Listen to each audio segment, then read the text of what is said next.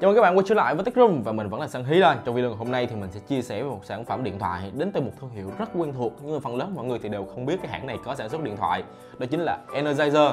Cái thương hiệu Mỹ này ngoài sản xuất pin sạc dự phòng rất là nổi tiếng với chất lượng tốt và độ bền cao thì họ còn làm rất nhiều cái điện thoại khác nhau nữa. Và một trong số đó thì hôm nay mình sẽ mang đến các bạn chiếc H-Case H570 S-Scan với ngoại hình hầm hố to nạt thịt và một vài tính năng cực kỳ thú vị mà mình tin chắc là các bạn chưa bao giờ nghĩ tới có xuất hiện trên một chiếc điện thoại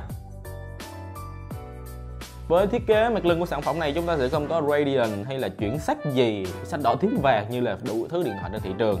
Chúng ta đang có một mặt lưng chủ yếu đến từ hai tông màu xám và đen, tạo sự cảm giác vô cùng tin tưởng trên sản phẩm này.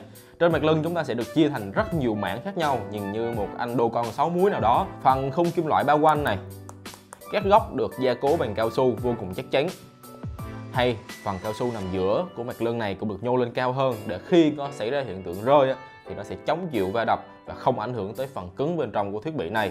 Bên trên chúng ta sẽ có một cái gồ lên ghi logo của Energizer và cái gồ này nó sẽ chiếm trọn luôn cái cụm camera của máy. Đồng thời bên cạnh cụm camera chúng ta sẽ có hai đèn flash led. Và như các bạn thấy, khi mình bật hai cái đèn flash này lên đồng thời thì độ sáng nó cực kỳ khủng khiếp, là sáng nhất trong phần lớn những cái điện thoại mình từng test qua thử đèn pin hoạt động thế nào. Với cái độ sáng khủng khiếp thế này thì dư sức cho chúng ta dùng trong những điều kiện cần thiết. Tắt biệt chói quá. Ở phần dưới của chiếc máy thì chúng ta sẽ có một cổng USB Type-C lộ thiên ở đây cùng cái giải loa cùng hai cổng mic nằm bên dưới cái đáy máy ngay chính giữa phần nối giữa mặt lưng và cái phần đáy máy sẽ là một cái chỗ để chúng ta nối roi à, tại sao mình có chia sẻ về việc là cái cổng tai si của máy này lộ thiên cổng tai si nào chả lộ thiên bởi vì sản phẩm này có hỗ trợ chống nước nhưng mà nhà sản xuất vẫn cố tình để cho nó trống chúng ta dễ dàng sử dụng và bố trí ron cao su bên trong để mà duy trì được khả năng kháng nước lên tới IP68 của sản phẩm này.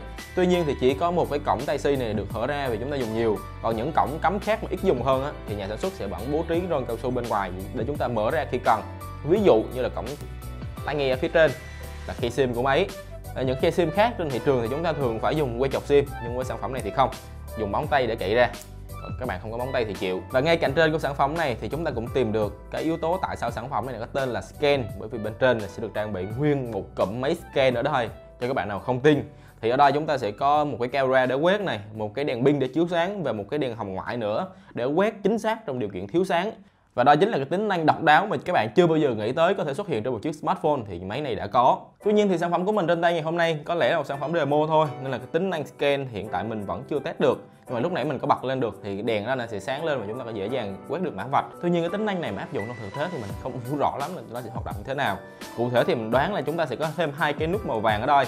Lúc nãy mình vẫn nghĩ hai cái nút màu vàng này là dùng để bật nguồn tắt nguồn, nhưng mà chả ai đang trang bị hai cái nút nguồn trên máy cả, nó hơi vô lý rồi mình cũng nghĩ tới việc là nó là nút SOS ư ừ, thì không bên trên máy đã có cái nút SOS đây rồi. Vậy thì hai cái phím vàng này để làm gì? Thì mình chỉ nghĩ tới một việc thì hai cái phím vàng này nó sẽ phục vụ cho tính năng scan ở bên trên này. Và nút nguồn tăng giảm âm lượng của máy thì sẽ được đặt ở bên cạnh phải dạng hình tròn và bấm rất là nảy luôn. Trên thân máy chúng ta sẽ tìm thấy các cái con ốc vít để mà cố định lại sản phẩm này tốt hơn khi mà va đập thì cũng không bị lỏng lẻo mà ảnh hưởng tới phần cứng bên trong.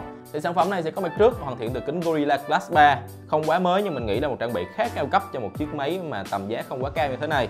Và mình quên mất thì một trong những đặc điểm quan trọng nhất của máy này chính là viên pin tới 4800 mAh. Với viên pin khủng gần 5000 mAh như thế này, kết hợp cùng với một cái màn hình 5.8 inch, độ phân giải HD Plus thôi, và tấm nền cũng là TFT tiết kiệm pin nữa đồng thời với đó thì cấu hình chỉ là Helio B22 và 3GB RAM hơi khiêm tốn, nên là cái viên pin của máy mình nghĩ sẽ đáp ứng được rất là tốt nhu cầu sử dụng của chúng ta từ 2 tới 3 ngày.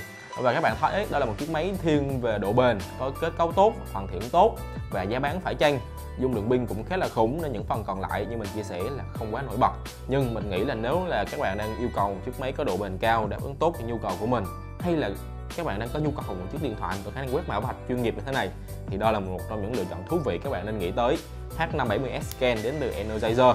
Và cái sản phẩm này thì thật sự dành cho một đối tượng người dùng rất là chuyên biệt cần một sản phẩm có độ bền cao. Còn với phần lớn người tiêu dùng thì với giá bán các bạn sẽ lựa chọn một chiếc máy chụp hình chơi game, quay phim đẹp. Chứ không phải là một sản phẩm có ngoại hình hầm hố to nạt thịt như thế này không phải ai cũng có đủ tự tin và nhu cầu để sử dụng một sản phẩm mà trong như thế này.